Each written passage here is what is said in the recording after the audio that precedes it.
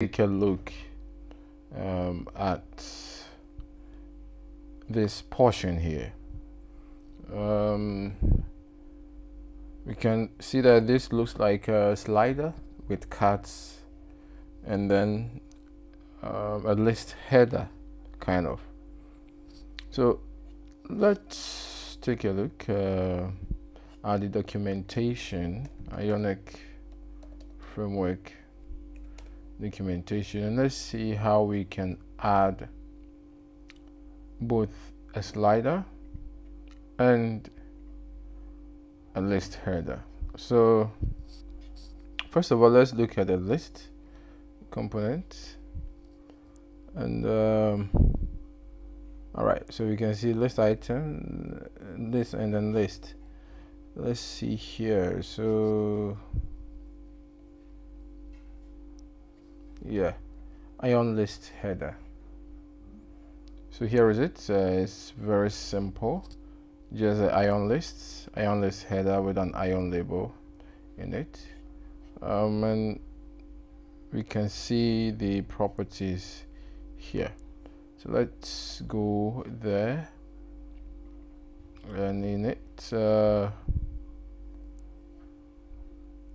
in the home page I mean just take this off and then put our ion list.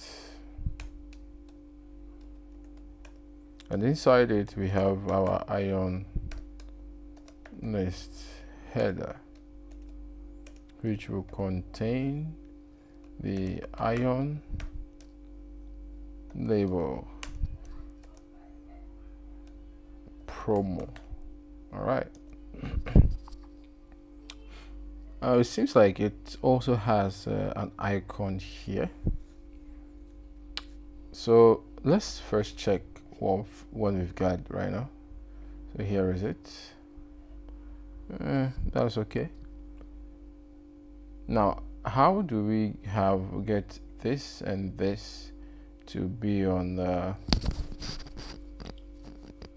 the edges or the end. We can use flex box for that.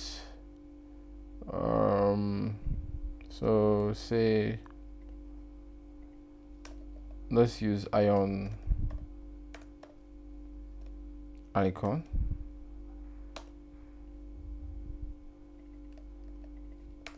Now how do we add an icon? So in the documentation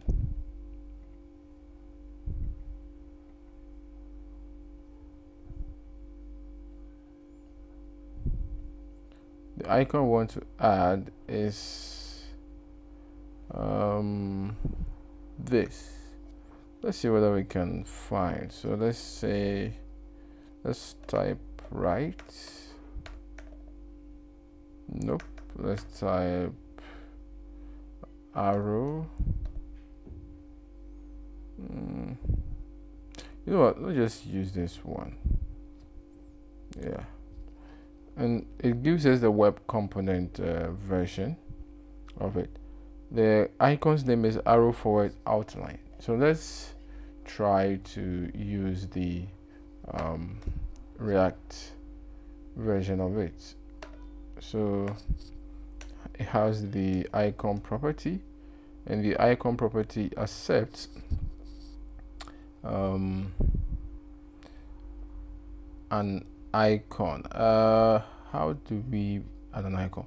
Earlier inside our um, app we added some icons and let's see how we did that. So we imported the icons from the ionicons icons. Let's copy that. Let's bring it here. And the icon we want as we saw is arrow forward outline. So arrow forward. Let's just use the arrow forward. Let's put that here. Let's see what we've got. So yeah. So it seems like it's actually done that for us. It's actually um, place the uh, icon on the other end and then the label on this end that's a pretty nice uh, feature that comes with the ionic um, ionic ion list header. That's very nice. All right. So let's uh, stick with that. Um, let me change this to say iPhone X and let's reload and see what how it looks like. Yeah so it kind of like the on iPhone it looks like what we have here but on Android it takes um, the other form. So what we could do is just to make it look the same on all devices change the mode to iOS and even on Android we will get the same thing.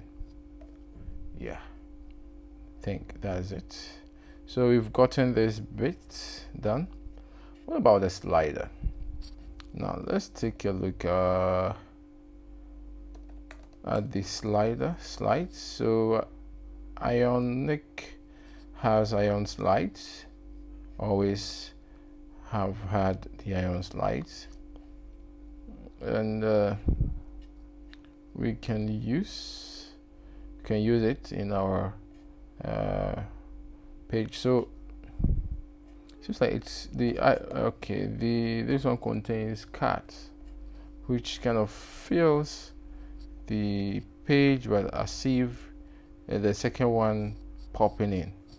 So um, I think I will pause for now and then reserve that for uh, the next lesson